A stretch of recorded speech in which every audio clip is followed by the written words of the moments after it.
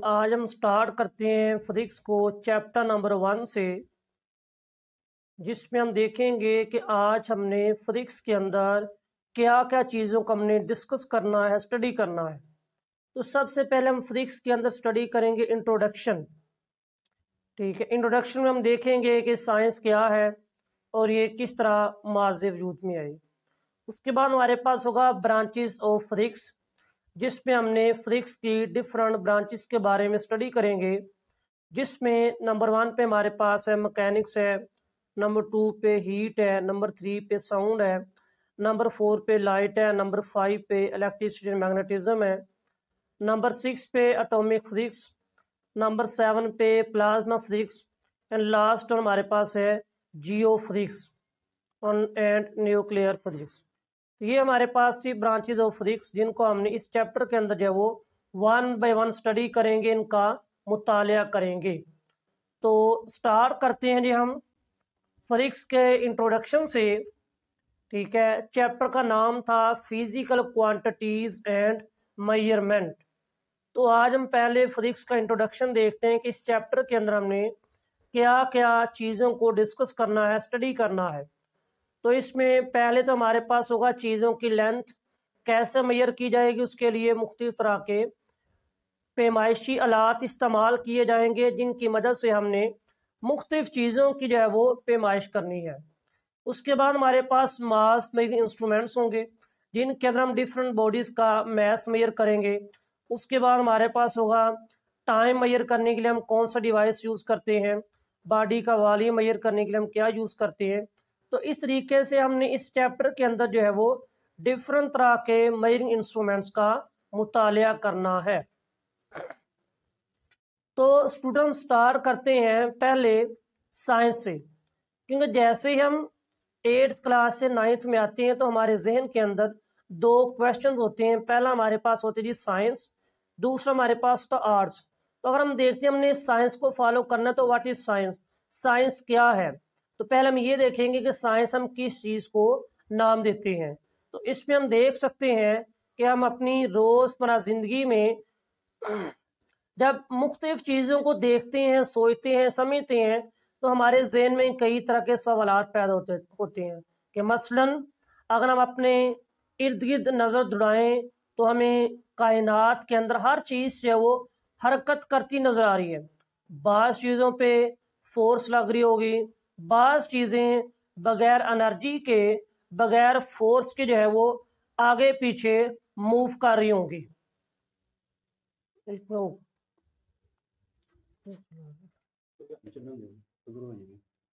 की चीज़ करनी अच्छा में तक तो।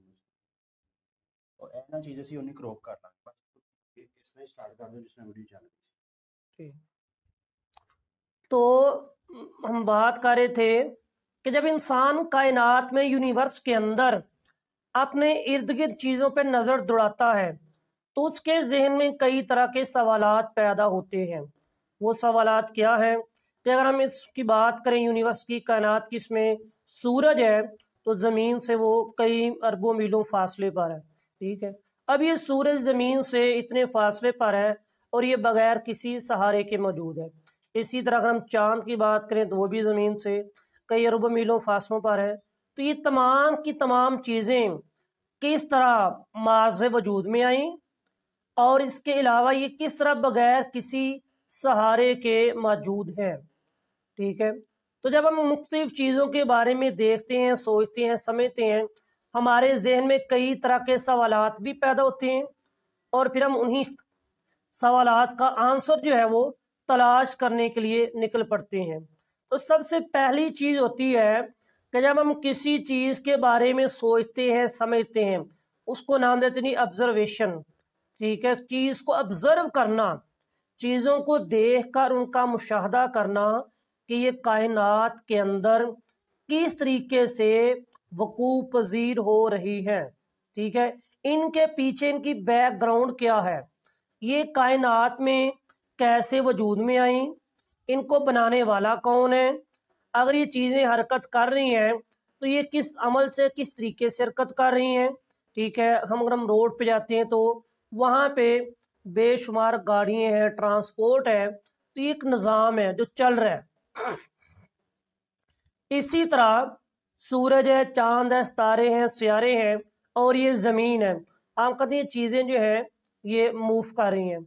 इनके जो चाँद है, वो ज़मीन के रिवॉल्व कर रहे हैं। और ज़मीन जो है, वो सूर्य के गिद रिवॉल्व कर रही है, चक्कर लगा रही है। तो तमाम चीज़ों को देखते हुए हमारे जहन में एक सवाल पैदा हो गया कि कैसे अमल हो रहा है। तो चीज़ों को देख कर हम सोचते हैं, समझते हैं, उसको ऑब्ज़र्व करना। जब हम किसी चीज़ को ऑब्ज़र्व करते हैं, फिर हम उसको सही तौर पर साबित करने के लिए हम उस पर तजर्बात करते हैं। तजर्बा किया जाता है एक्सपेरिमेंट किए जाते हैं। ठीक है, जब वो एक्सपेरिमेंट हमारे दुरुस्त साबित हो जाते हैं तो हमारे पास एक इलम का ख़जाना इकट्ठा हो जाता है। हमारे पास बहुत ज़्यादा इलम जो है वो इकट्ठा हो जाता है। तो फिर हम इस तरीके से साइंस को डिफाइन करते हैं। ठीक है the knowledge gain through observations and experimentation is called science के वो इलम जो हमने अपने मुशाहदात और अपने तजुर्बात की बना पर हासिल किया, उस इलम को हमने साइंस का नाम दिया। ठीक है? तो जिसमें आप देख सकते हैं सामने हमारे पास जो ये एक डायग्राम नज़र आ रही है। इस डायग्राम में देखिए जी दरमियान में हमने एक चीज़ को रखा हुआ है, फ़र्ज़ कर लें कि ये सूरज है और बाकी चीज़ें देख लें, ये उसके जो चक्कर लगा रही हैं, हरकत कर रही हैं। तो ये छोटी सी एक डायग्राम बनाकर ये समझाने की बात की गई थी। अब आगे हम देखते हैं what is the meaning of science science का मतलब क्या है? ठीक है? तो हम कहते जो साइंस है, पहले वक्तों में जिस जबान के अंदर इसका इलम लिखा जाता था, इकट्ठा किया जाता था, वो हमारे पास थी लातीनी जबान। तो साइंस का जो लफ्ज़ है, उसी जबान से निकाला गया, अखज किया गया डिराइव किया गया माखूज किया गया, ठीक है, जिसका मतलब होता है scientia. The word science is derive from the Latin word which mean which is called scientia and which means knowledge जो साइंस का लफ्स है, ये लातीनी ज़बान के लफ्स साइंशिया से अखज किया गया है, निकाला गया है, बनाया गया है, जिसका मतलब है इलम, ठीक है। तो ये हमारे पास था साइंस का मतलब। अब जैसे जैसे हमारे पास इलम बढ़ता गया, आए रोज़ इंसान के पास साइंस के अंदर नई से नई मालूम आती गई, नया से नया जो इलम था वो हमारे पास इकट्ठा होता गया। तो फिर जिसमें तमाम तरह का इलम शामिल था, वो क्या था जिसके अंदर तमाम की तमाम लिविंग थिंग्स भी थी और नॉन लिविंग थिंग्स भी थी, कि जब इंसान ने शुरू में सोचना शुरू किया तो उसने हर तरह की चीज़ों का मुताल किया, हर तरह की चीज़ों का इलम इकट्ठा किया। तो इलम इकट्ठा करते करते हमारे पास इतना ज़्यादा इलम इकट्ठा हो गया कि जिसको हमने एक जगह पे रख के स्टडी किया, जिससे फिर हमने नाम दे दिया नेचुरल फिलासफी है various aspects of material object were studied under a single subject called natural philosophy तो अब इसमें देखें, यहाँ पे हमने लफ्स यूज़ किया हुआ है मटीरियल ऑब्जेक्ट्स तो मटीरियल ऑब्जेक्ट कहते हैं मादी अजसाम, ठीक है? अब ये लफ्स मटीरियल निकल मैंने निकाला मैटर से। What is the matter matter क्या है? तो हमने कहा जी मैटर नाम दिया जाता है हर वो चीज़, ठीक है? जो स्पेस भी ऑक्यूपाई करे और उस बॉडी का बकायदा अपना वेट भी हो, अपना मैस भी हो, उसे हम मैटर कहते हैं, ठीक है? तो तमाम की तमाम बॉडीज जो है, इस यूनिवर्स के अंदर जिनका अपना वेट भी होगा बॉडी का मैस भी होगा, और बॉडी बकायदा तौर पर कोई ना कोई स्पेस भी कवर करे, वो मैटर कहलाती है। तो जितनी भी चीज़ें थी, उनको हमने नाम दे दिया मटीरियल ऑब्जेक्ट चाहे वो लिविंग थिंग्स है, चाहे वो नो लिविंग थिंग्स है, ठीक है, चाहे वो ज़िंदा ज़िंदा चीज़ें हैं और चाहे वो बेजान अशिया है। तमाम की तमाम चीज़ों का एक जगह पे रखकर मुताल किया गया, जिसे हमने नाम दिया नेचुरल फिलासफी अब जैसे जैसे हमारे पास इलम इकट्ठा होता गया, हम उसको एक जगह पे रख कर स्टडी करते गए करते गए लेकिन एक वक्त आया कि उस इलम को एक जगह पर रख कर स्टडी करना हमारे लिए मुश्किल हो गया। फिर इंसान ये सोचा, क्यों ना इसको अलहदा अलहदा ग्रुपों में तकसीम कर दिया जाए? अब वो ग्रुप कौन से हैं? हमने इलम की बढ़ती हुई मालूम के हिसाब से हमने नेचुरल फिलासफी को दो ग्रुप्स के अंदर डिवाइड कर दिया। ठीक है, जिससे नंबर वन पे आ गया जी फ़िज़िकल साइंसिस और दूसरा हमारे पास है बायोलॉजिकल साइंसिस तो हमारे पास जो था नेचुरल फिलासफी को हमने दो ग्रुप्स के अंदर तकसीम कर दिया। पहले इसमें हमारे पास आ गया जी फ़िज़िकल साइंसेज है और दूसरा हमारे पास क्या था बायोलॉजिकल साइंसेस अब what is the physical sciences physical sciences क्या है? तो फ़िज़िकल साइंसेस कहते हैं जी that branch of science in which we study about the non living things is called physical sciences या आर कॉल्ड फ़िज़िकल साइंसेस कि वो इलम जिसके अंदर हमने बेजान अशिया का मुताल करना है, उसे हम फ़िज़िकल साइंसिस का नाम देते हैं। ठीक, उसके बाद हमारे पास है बायोलॉजिकल साइंसिस तो बायोलॉजिकल साइंसिस नहीं लफ्स होता है बायो जिसका मतलब हमारे पास है ज़िंदगी। तो बायोलॉजिकल साइंसिस से मुराद मुरादी होगी कि that branch of science in which we study about the living things जिसके अंदर हमने जानदार चीज़ों का, जानदार अशिया का मुताल करना है, उसे नाम दिया जाएगा बायोलॉजिकल साइंसिस अब अगर हम इसको देखें तो बायोलॉजिकल साइंसिस जो होती है, ये आगे मज़ीद दो हिस्सों में डिवाइड होती है। एक हमारे पास आ जाती है बॉटनी और दूसरी बायोलॉजिकल साइंसिस की ब्रांच है जुआलॉजी ठीक है? जुआलॉजी लफ्स जू से निकला है, जिसमें आपने जानदारों का मुताल करना है, उसके अंदर एनिमल्स आ जाएँगे और बोटनी के अंदर हमने पौधों वगैरह का मुताल करना है। तो ये स्टूडेंट्स हमारे पास था about the natural philosophy and its groups ठीक है नेक्स्ट हम इसके बारे में स्टडी करेंगे कि फ्रिक्स के अंदर हमारे पास था इलम, बहुत ज़्यादा बढ़ गया। अब इन तमाम चीज़ों को देखते हुए हमने फ्रिक्स को मज़ीद हिस्सों में डिवाइड कर दिया। लेकिन इससे पहले हम थोड़ा सा मज़ीद जान लें कि हमने पढ़ा था फ़िज़िकल साइंसेस के बारे में। तो उसमें हमने जो फ़िज़िकल साइंसेस थी, उसे हमने मज़ीद पाँच ग्रुपों में तकसीम किया था। वो कौन से थे? उसमें पहला हमारे पास फरिक्स था, दूसरा केमिस्ट्री है, तीसरा हमारे पास मेट्रोलॉजी है, चौथा जियोलॉजी है, पांचवा एस्ट्रोनॉमी है। तो आज हमने जिस चीज़ का मुताल करना है जिसके बारे में स्टडी करना है, वो हमारे पास फ़िज़िकल साइंसिस का पहला ग्रुप है, जिसे हम फदिक्स का नाम देंगे। ठीक है? तो पहले देखेंगे हमारे पास फदिक्स क्या है। हम फदिक्स को कैसे बयान करेंगे? फदिक्स को कैसे डिफाइन करेंगे और उसके बाद फिर हम इसकी मज़ीद जो है वो ब्रांचेस को स्टडी करेंगे। तो पहले देखते हैं व्हाट इज़ फदिक्स फदिक्स क्या है?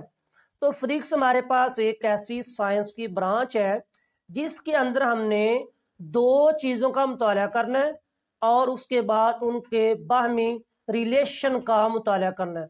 अब वो दो चीज़ें कौन सी हैं? पहली हमारे पास है मैटर देखिए इसमें the branch of science which deals with the study of matter पहली चीज़ हमारे पास मैटर है, दूसरा एनर्जी है and their interaction and their relationship भी कह सकते हैं। तो दो चीज़ें हमारे पास थी फिजिक्स की डेफिनेशन में। पहली हमारे पास है मैटर और दूसरा हमारे पास है एनर्जी तो देखेंगे व्हाट इज़ मैटर मैटर क्या है? मैटर को हम डिफाइन करते हैं कि everything which occupy space and having weight is called matter हर वो चीज़, हर वो बॉडी जिसका अपना वज़न भी हो और वो चीज़ जगह भी कवर करे, उसे हम मैटर का नाम देते हैं, ठीक है? And what is energy energy क्या है? The ability of a body the capacity of a body to do work is called energy ठीक है? अब हमने इन दोनों चीज़ों का आपस में रिलेशन कायम करना है, ठीक है? तो मैटर और एनर्जी के दरमियान जब हम बाहमी रिलेशन बयान कर देते हैं, उसे हम फरिक्स का नाम देते हैं। तो पहले देखते हैं जी, इनकी अगर हम एक छोटी सी एग्ज़ाम्पल देख लेते हैं, मिसाल देख लेते हैं कि मैटर और एनर्जी का आपस में हमने रिलेशन कैसे कायम किया। तो इसकी छोटी सी हमारे पास एग्ज़ाम्पल है कि घर में अगर हमारे पास एक टेबल है, उस टेबल को हमने आगे पीछे मूव करना है, ठीक है? तो टेबल जो है वो हमने लकड़ी से बनाया हुआ है, ठीक है? लकड़ी जो है, वो जगह भी घेरती है और उसका अपना वेट भी होगा टेबल का। वो एक मैटर है, ठीक है? वो एक मादा है मैटर है। अगर हम उस टेबल को आगे पीछे मूव कराते हैं, उसकी जगह चेंज करते हैं तो टेबल को आगे पीछे मूव कराने के लिए, उसकी जगह चेंज करने के लिए हमारे पास, हमारी बॉडी के अंदर एनर्जी होगी, जो हमने उस पर इस्तेमाल की, और हमने उस टेबल की जगह को चेंज कर लिया। तो ये हमारे पास था मैटर और एनर्जी के दरमियान बाहमी रिलेशन। क्योंकि ये दोनों चीज़ें होंगी तो हम आगे फरिक्स को वन बाय वन जो वो स्टडी कर सकेंगे। अगर इनमें से हम कहते एक चीज़ से काम चल जाए तो हमारे लिए नामुमकिन होगा, क्योंकि अभी हमने एग्ज़ाम्पल से देखा कि मैटर भी ज़रूरी है और एनर्जी भी ज़रूरी है।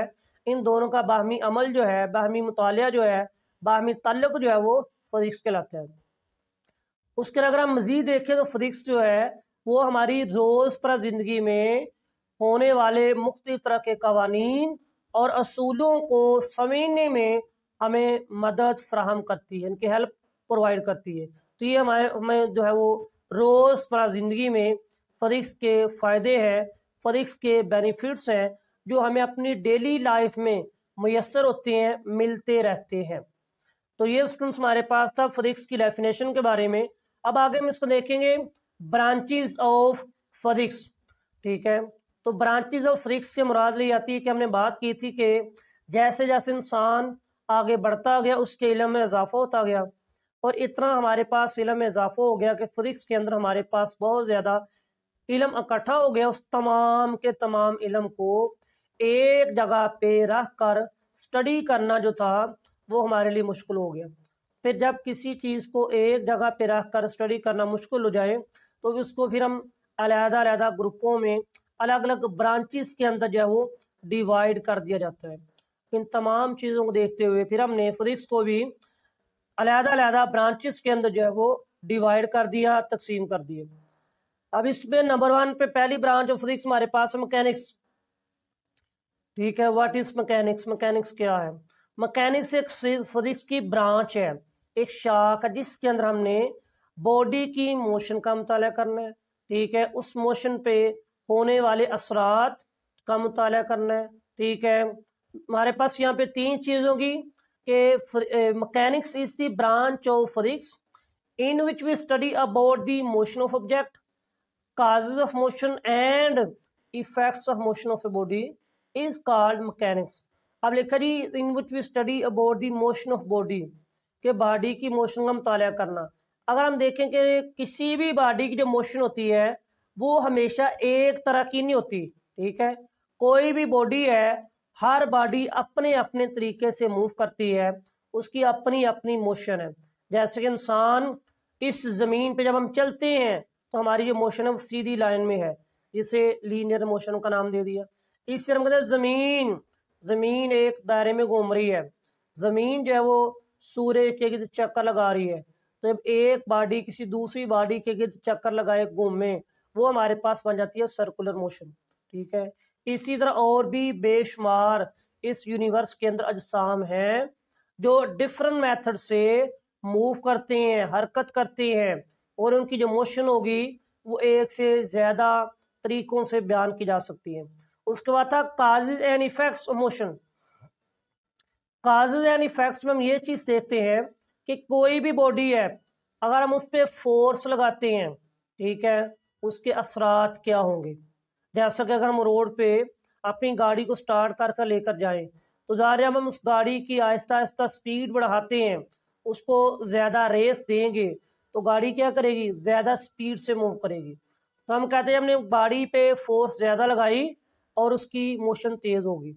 अगर उसी को हमने रोकना है तो हम उसकी स्पीड आहिस्ता आहिस्ता स्लो करते जाएँगे और बॉडी जो है, वो आहिस्ता आहिस्ता स्लो होती जाएगी और एक वक्त आएगा कि हमारी लगाएगी फोर्स के ज़रिए। असर जो है इनके ब्रेक की शक्ल में वही गाड़ी रुक जाती है स्टॉप कर जाती है। तो ये हमारे पास था, किसी भी बॉडी पे फोर्स लगाना और लगने वाली फोर्स का आगे इफ़ेक्ट क्या होता है इन तमाम चीज़ों का मुताला फिजिक्स की जिस ब्रांच में हम करेंगे, उसे मकैनिक्स कहते हैं। उसके बाद ये नीचे देख सकते हैं हमने एक छोटी सी एग्जांपल ली हुई है कि ये बॉडी मूव कर रही है, ठीक है, ये हमारे पास इसको हम नाम देते हैं जी सिंपल पेंडुलम तो ये सिंपल पेंडुलम की बोल्स हैं, जो सामने आपको डायग्राम के अंदर नज़र आ रही हैं। इस पे आप देख सकते हैं कि बॉडीज जो है वो मूव कर रही हैं, ठीक है। तो यहाँ पे हमने मेन मकसद जो था, वो बॉडी की मोशन का मुताल करना था। अब हमारे पास नंबर टू पे है हीट हरारत, ठीक है? तो what is the heat heat का जो तल्लक है इंसान से, वो पहले दिन से ही है। क्योंकि जब अल्लाह ताला ने इंसान को पैदा किया तो हर इंसान ने अपने ज़िंदा रहने के लिए खुराक का इंतज़ाम करना था। अब खुराक का इंतज़ाम करने के लिए ज़ाहर इंसान को हीट से, हरारत से हमारा वास्ता या तल्लक जो है इंसान का वो लाजमी पड़ता है। तो पहले देंगे व्हाट इज़ हीट ठीक है? हीट हमारे पास फिजिक्स की ये भी एक ब्रांच है जिसमें हम देखेंगे नेचर ऑफ़ हीट ठीक है? नेचर ऑफ़ हीट हरारत की नोयत क्या है? उसके बाद modes of heat modes of transfer of heat का मुताला करेंगे एंड इफेक्ट्स ऑफ़ हीट का हमने मुताला करना है। तो अगर हम देखें नेचर ऑफ़ हीट से मुराद ये है कि हम यहाँ पे रहते शुरू ज़मीन पर मुख्तलिफ़ चीज़ों को जलाते हैं और उनसे हरारत हासिल की जाती है। तो इंसान ने शुरू शुरू में जिस चीज़ को जलाकर उससे हरारत को हासिल किया, वो हमारे पास थी लकड़ी वुड तो पहले इंसान ने लकड़ी को जलाया। लकड़ी को जलाकर उससे इंसान ने अपना खाना वगैरह तैयार किए फिर आहिस्ता आहिस्ता वक्त गुजरता गया तो लकड़ी के बाद इंसान जो था, वो मट्टी का तेल यूज़ करता था। उसको जलाकर, उससे हम अपना खाना तैयार करते थे। अब लकड़ी से भी हीट मिल रही है, उसका अपना तरीकाकार होगा। अब गैस के चूल्हे से भी हीट मिलेगी, ठीक है। उसके अलावा हमारे पास तेल के चूल्हे से भी हमें हीट मिलेगी, उसका अपना तरीकाकार होगा। गैस के चूल्हे से हीट मिल रही है, उसका अपना तरीकाकार होगा। तो यह नेचर ऑफ़ हीट हरारत की नोयत, इनके हम डिफरेंट बॉडीज़ को जब बर्न करते हैं, जलाते हैं तो हर बॉडी जो है वो अपने अपने तरीके से अपने अपने मेथड से जो है वो हीट को पैदा करती है। उसके अलावा था modes of transfer of heat जब हरारत एक बॉडी से दूसरी बॉडी तक जाती है तो वो किस तरीके से मुंतकिल होती है? तो यहाँ पर देखें हम इसको एक फिगर की मदद से डिस्कस करते हैं कि हमारे पास ये एक चूल्हा है, ठीक है, जिसके ऊपर हमने एक बर्तन को रखा, उसमें हमने कुछ लिक्विड पानी वगैरह डाल को उसको गर्म किया जा रहा है। तो जब हमने बर्तन के अंदर पानी वगैरह डालकर या कोई भी चीज़ पकने के लिए हम उसमें डालकर चूल्हे पर रख देते हैं। तो हम देखते हैं कुछ देर के बाद, कुछ देर के बाद वो बर्तन भी गर्म हो जाते हैं, ठीक है? चूल्हे से हीट एनर्जी बर्तनों को मुंतकिल हो जाती है। उसके अलावा वही जो हीट एनर्जी जो है, वो उस बर्तन के हैंडल को भी मुंतकिल होती है। अब सवाल ये पे हमने तो हैंडल को गर्म नहीं किया था, लेकिन यहाँ पर हीट का एक मेथड यूज़ होता है कि जिसकी मदद से हीट जो है वो एटम्स की मदद से, फ्री इलेक्ट्रॉन्स की मदद से एक जगह से दूसरी जगह मुंतकिल होती है, जिसमें हम देख सकते हैं फिगर में ये बर्तन का हैंडल था और इसके ऊपर हम लिखा है कंडक्शन। यानी कि सॉलिड्स ऑब्जेक्ट में जो हीट ट्रांसफ़र होती है, उसके तरीके कार को, उसके मूड को कहते हैं कंडक्शन। उसके बाद ये हमारे पास लिक्विड है, इसमें आपको एरोस की फॉर्म ये देख रहे हैं, यहाँ पे हमारे पास जो है मालिक्यूल्स जो थे, नीचे वाले वो थोड़े से रेड कलर में है क्योंकि उनको हीट एनर्जी मिल रही है। अब वो हीट एनर्जी लेकर ऊपर की तरफ़ मूव करेंगे। तो ऊपर वाले मालिक्यूल्स जो है, जो ब्लू कलर में आपको नज़र आ रहे हैं, इनका टेम्परेचर इनकी हीट एनर्जी कम है। तो जिनकी हीट एनर्जी कम होगी, वो नीचे की तरफ़ आ जाएँगे और जिनका टेम्परेचर या एनर्जी बढ़ती जाएगी, वो ऊपर की जानब मूव करेंगे। तो तमाम के तमाम लिक्विड्स में हीट ट्रांसफ़र का जो मेथड है जो मूड है, उसे हम कन्वेक्शन का नाम दे देते हैं।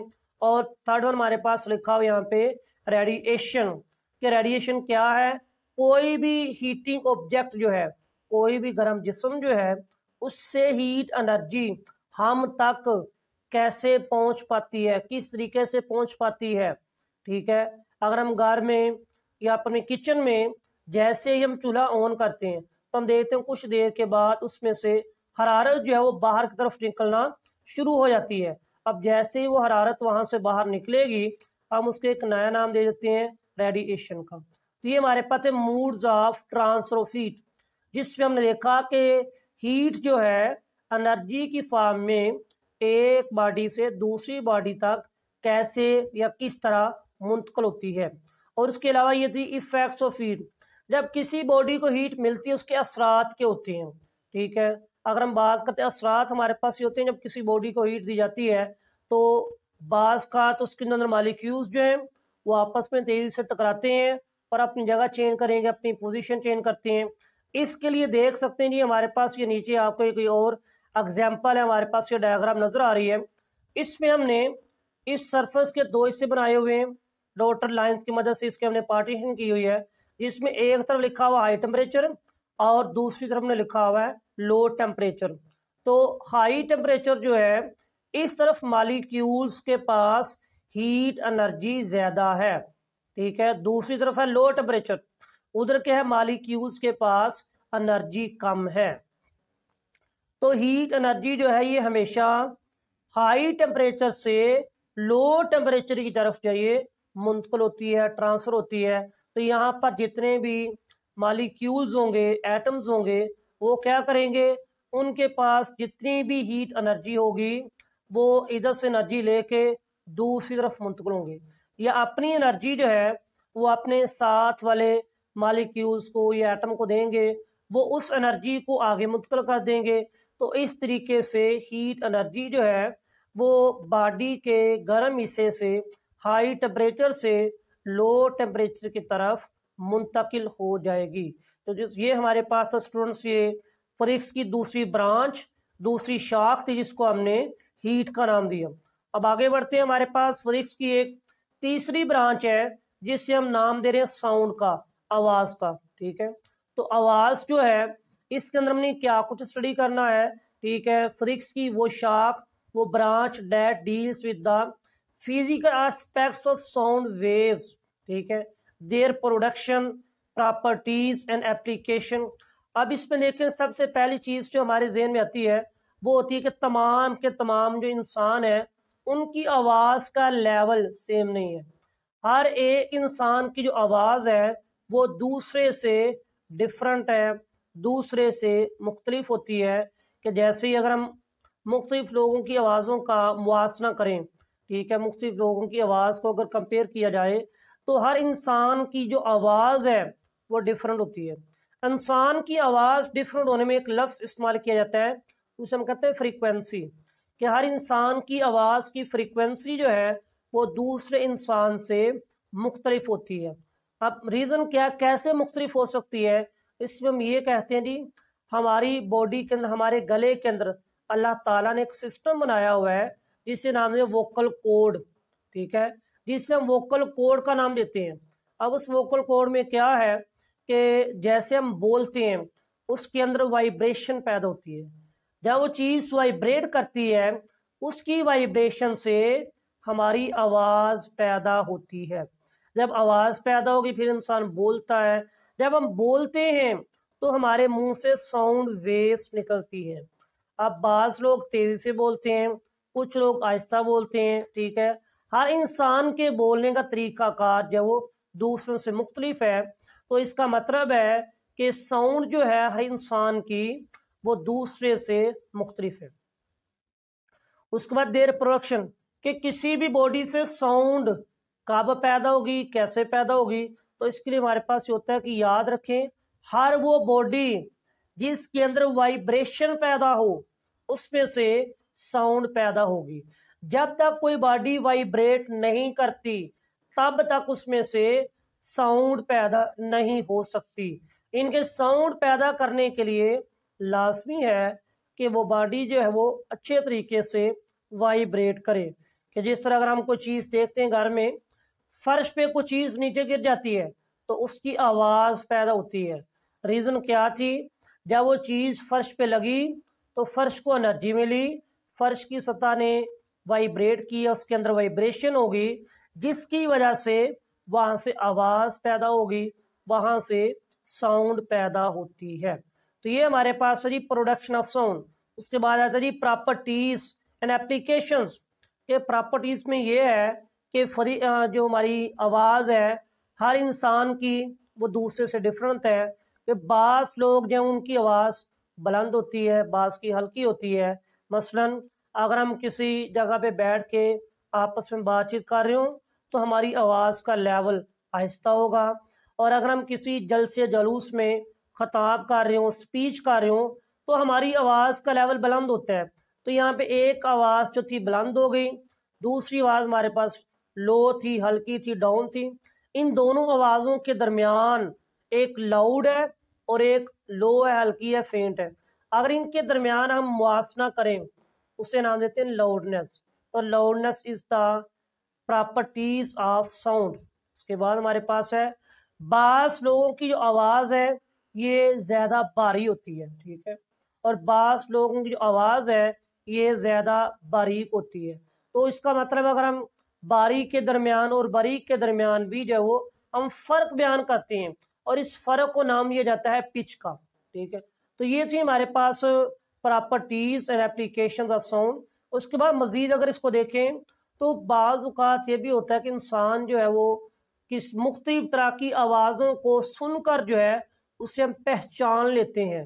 ठीक है, जैसे कि बाज़ात अगर हम छोटी सी एग्जांपल लें कि कहीं भी हमारे मोबाइल फ़ोन में कोई ट्यून लगी हो या कहीं भी कोई म्यूज़िक प्ले हो रहा हो तो हम उसको सुनकर पहचान सकते हैं कि म्यूज़िक जो है ये फ़लाँ इंस्ट्रूमेंट से पैदा किया जा रहा है। ठीक है, या किसी गाने की ट्यून सुनकर उसे भी हम आइडेंटिफाई कर लेते हैं कि ये फ़लाँ सॉन्ग था।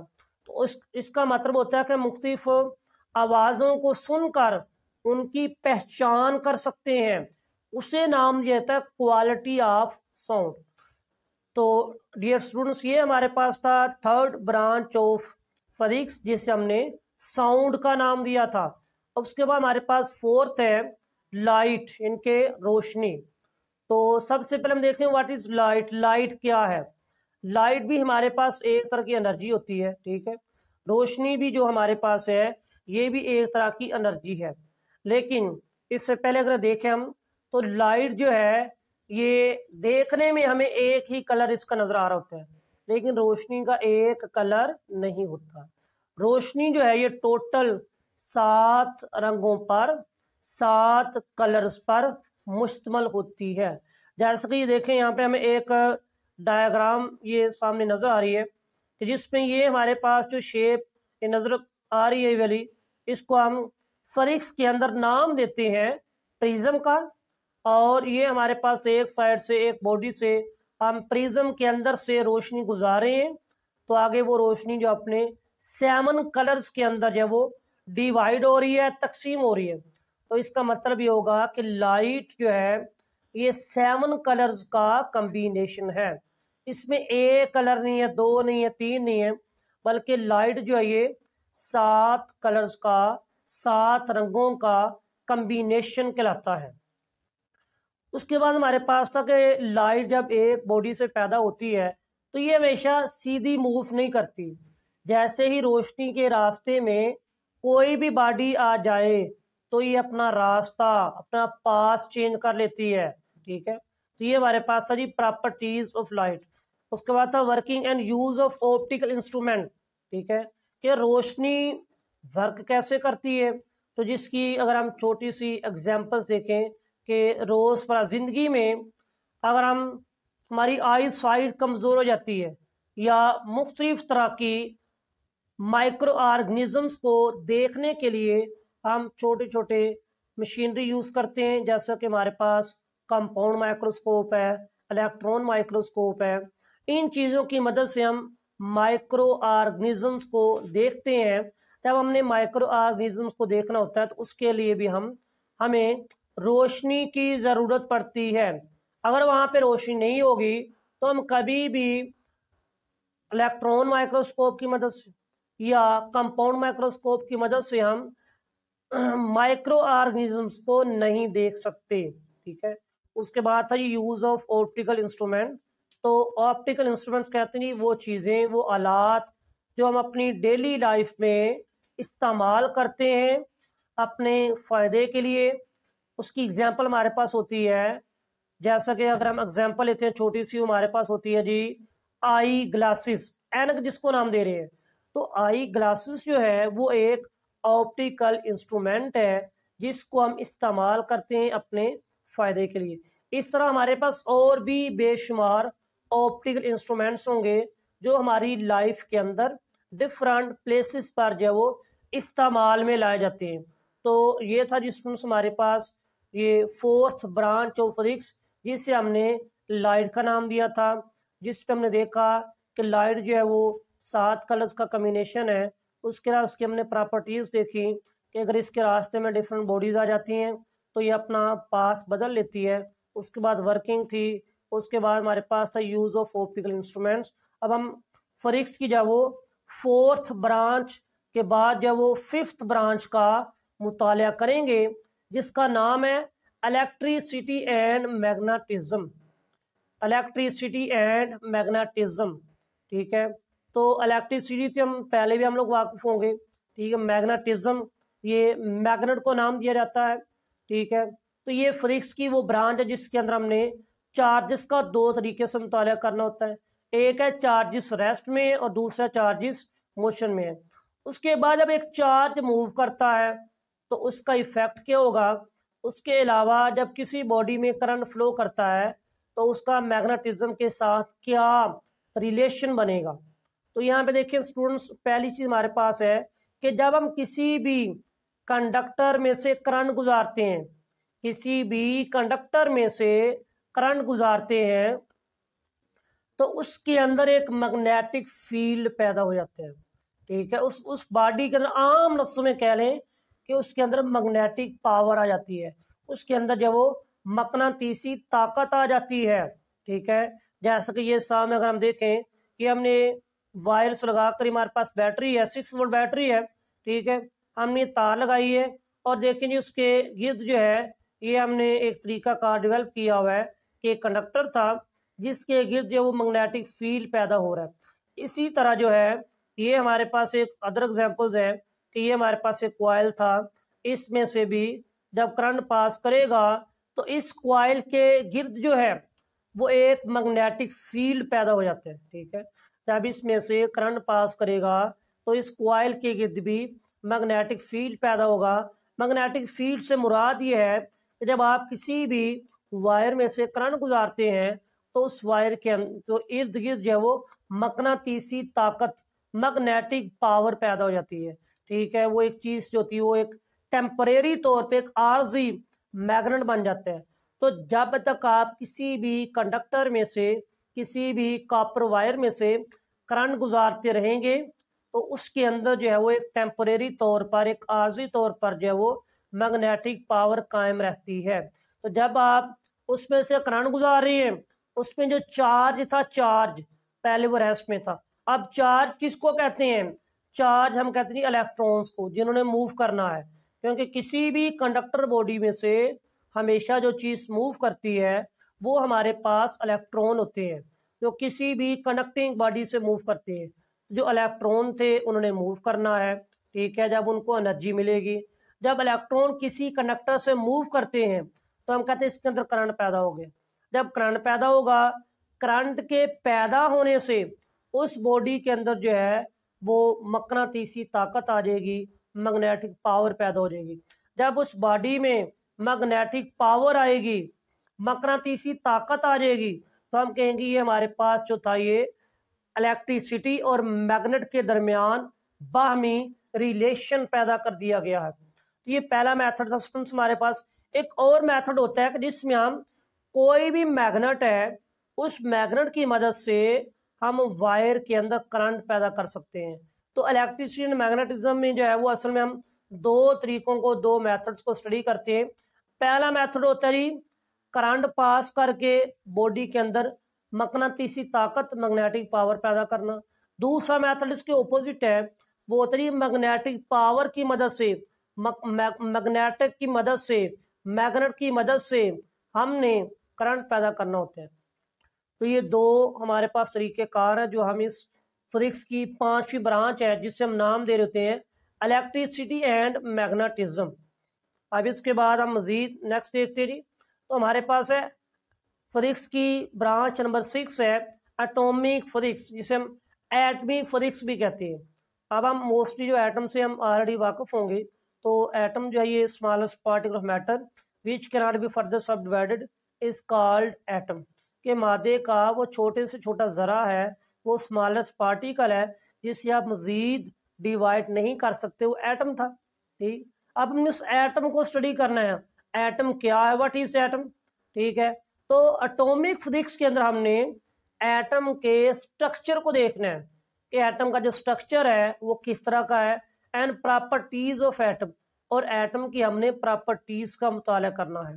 ठीक है कि एटम क्या है, ये किस तरह बना, इसका साइज़ क्या होगा। ठीक है, ये सामने देखें आप एक फिगर नज़र आ रही है। ये, इसके अंदर हमने एटम के स्ट्रक्चर को बयान किया हुआ है। ठीक है ये देखें हमारे पास ये कंप्लीट जो डायग्राम है, ये कंप्लीट फिगर जो है, ये एटम के एक मुकम्मल स्ट्रक्चर को बयान करती है। तो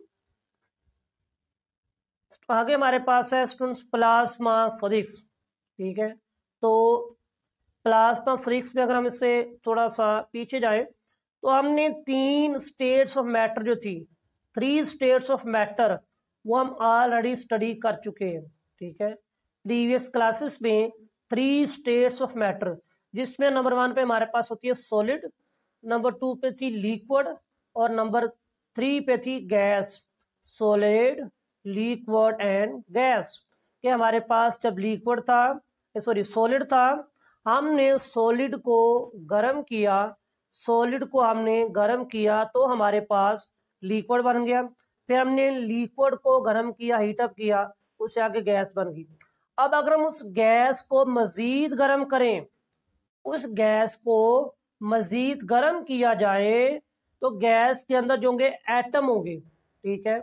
वो आपस में टकराएँगे तो जब एटम आपस में टकराएँगे तो एटम के लास्ट वैलेंस शेल वाले जो इलेक्ट्रॉन होते हैं वो उसमें से निकल जाएँगे।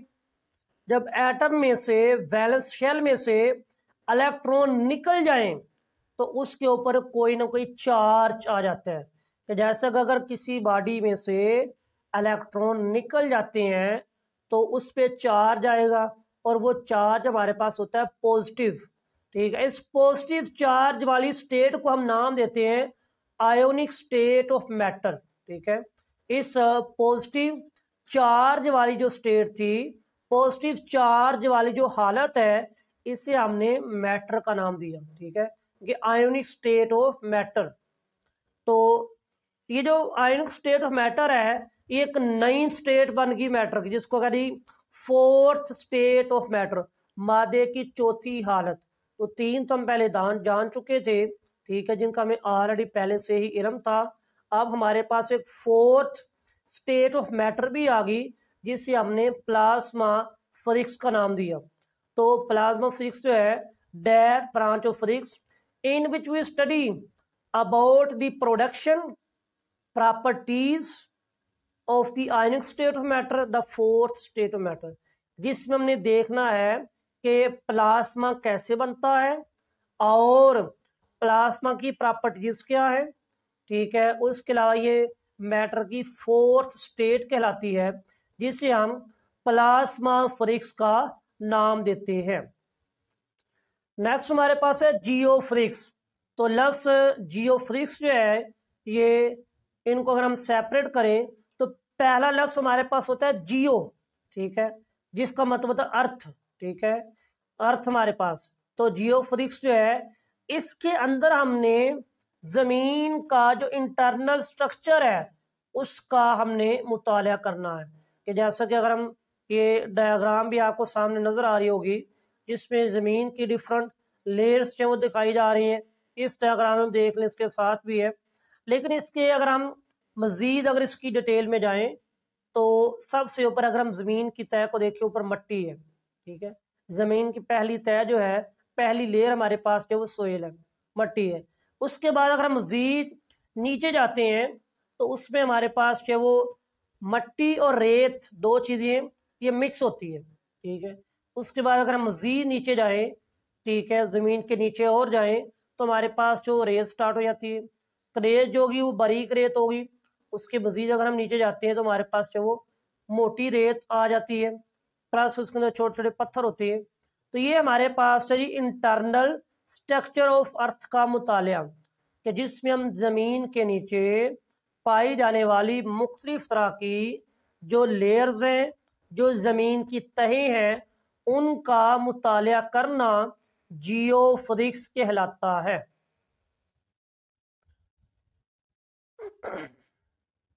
अब हमारे पास है न्यूक्लियर फिजिक्स ठीक है? न्यूक्लियर फिजिक्स के जैसे हमने, इससे पहले हमने एटॉमिक फिजिक्स के बारे में देख चुके थे।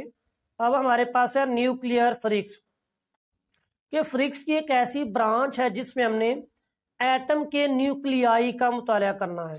अभी एटम के न्यूक्लियाई क्या है?